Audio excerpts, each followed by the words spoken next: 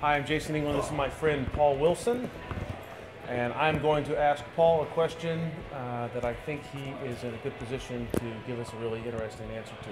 And the question, Paul, is what one magic book would you recommend to a young magician interested in beginning the path to learning some great card magic?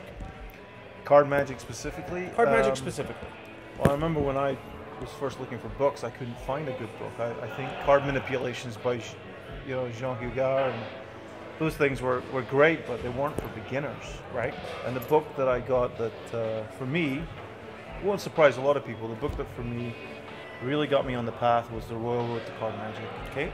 And it's a course. It's a chapter by chapter course. If you read it from the beginning through to the end without skipping, you basically become a better sleight of hand card magician, chapter by chapter. And by the time you get to the end of that book, if you can do all of that stuff, then you can really, you're really prepared to do anything. But you also have an incredible repertoire to get started with. Sure. So for classic sleight of hand card magic, Royal Road to Card Magic, for sure.